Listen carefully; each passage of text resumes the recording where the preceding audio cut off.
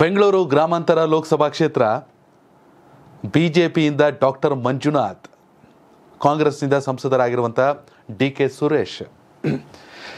ಇಡೀ ರಾಜ್ಯದ ಇಪ್ಪತ್ತೆಂಟು ಲೋಕಸಭಾ ಕ್ಷೇತ್ರಗಳಲ್ಲಿ ಆ ಹೈ ವೋಲ್ಟೇಜ್ ಅಖಾಡ ಅಂದರೆ ಅದು ಬೆಂಗಳೂರು ಗ್ರಾಮಾಂತರ. ಅಧಿಕೃತವಾಗಿ ಬಿಜೆಪಿ ಕಚೇರಿಗೆ ಆಗಮಿಸುವ ಮೂಲಕ ಡಾಕ್ಟರ್ ಮಂಜುನಾಥ್ ಚುನಾವಣಾ ಕಣಕ್ಕೆ ಧುಮುಕಿದ್ದಾರೆ. ತಮ್ಮ ಎದುರಾಳಿಯ ವಿರುದ್ಧ ಮಾತನಾಡಿದ್ದಾರೆ. ಆರೋಗ್ಯಕರವಾದಂಥ ಚುನಾವಣೆ ನಡಿಬೇಕು ಅಂತ ಹೇಳಿದ್ದಾರೆ. Soft nature.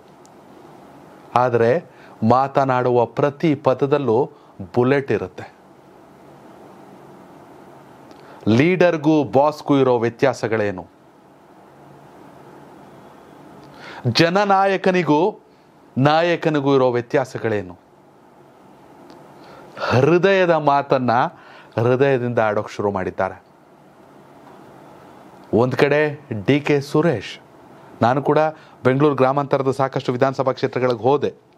ಚನ್ನಪಟ್ಟಣ, ಕನಕ್ಪುರ, ಎಲ್ಲ ಕಡೆ ಕೂಡ ರಾಮನಗರ ಅಭಿವೃದ್ಧಿ ಮಾತಾಡ್ತಾ ಇದೆ.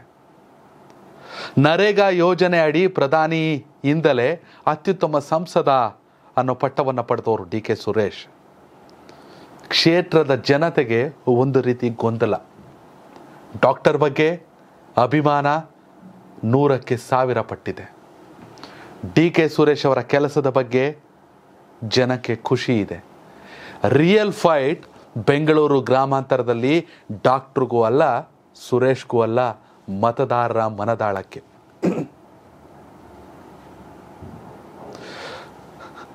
ದೇಶಕ್ಕಾಗಿ ಮೋದಿ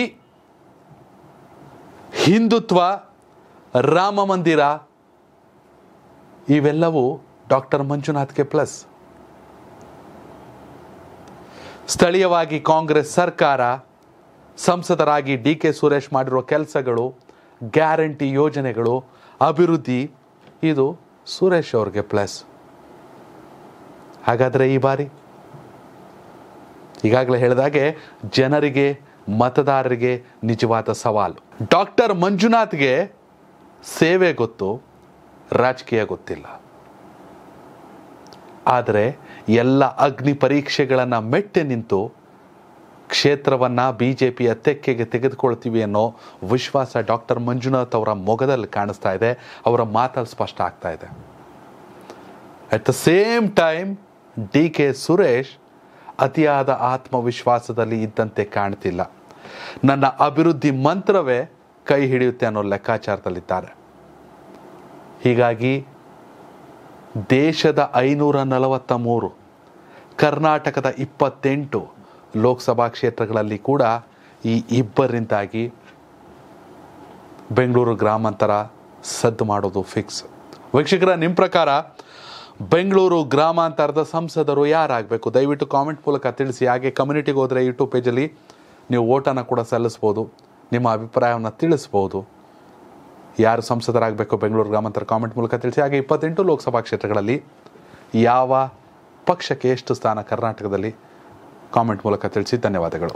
ಯೂಟ್ಯೂಬ್ನಲ್ಲಿ ಕರ್ನಾಟಕ ಟಿವಿ ಅಂತ ಸರ್ಚ್ ಮಾಡಿ, ನಂತರ ನಮ್ಮ ಕರ್ನಾಟಕ ಟಿವಿ ಸಬ್ಸ್ಕ್ರೈಬ್ ಮಾಡಿ. ಸಬ್ಸ್ಕ್ರೈಬ್ ಆದ್ಮೇಲೆ ನಿಮಗೆ ಹೋಮ್ ಪೇಜ್ ಬಂದ್ರೆ ಕಮ್ಯುನಿಟಿ ಅನ್ನೋ ಆಪ್ಷನ್ ಸಿಗುತ್ತೆ. ಈ ಕಮ್ಯುನಿಟಿ ಆಪ್ಷನ್ ಕ್ಲಿಕ್ ಮಾಡಿದ್ರೆ ನಿಮ್ಮ ಕೆಳಗಡೆ ಇಪ್ಪತ್ತೆಂಟು ಲೋಕಸಭಾ ಕ್ಷೇತ್ರಗಳ ಒಂದು ಪೋಲ್ ಕ್ರಿಯೇಟ್ ಮಾಡಲಾಗಿದೆ. ನೀವು ಹೋಗಿ ಇಪ್ಪತ್ತೆಂಟು ಕ್ಷೇತ್ರಗಳಲ್ಲಿ ಯಾರು ಗೆಲ್ತಾರೆ, ಯಾರು ಗೆಲ್ಲಬೇಕು ನಿಮ್ಮ ಸಪೋರ್ಟ್ ಯಾರಿಗೆ ಅಂತ ಅಲ್ಲಿ ನೀವು ಕ್ಲಿಕ್ ಮಾಡ್ಬೋದು, ಅಂದರೆ ವೋಟ್ ಮಾಡ್ಬೋದು. ಇಲ್ಲೇನು ವೋಟಿಂಗ್ ಆಗುತ್ತೆ, ನಾವು ಪ್ರತಿದಿನ ನಾವು ನ್ಯೂಸಲ್ಲಿ ನಿಮಗೆ ಅಪ್ಡೇಟ್ ಮಾಡ್ತಿರ್ತೀವಿ. ಇದು ಮತದಾನದ ದಿನದವರೆಗೂ ಕೂಡ ಈ ಪೋಲಿಂಗ್ ಓಪನ್ ಇರುತ್ತೆ.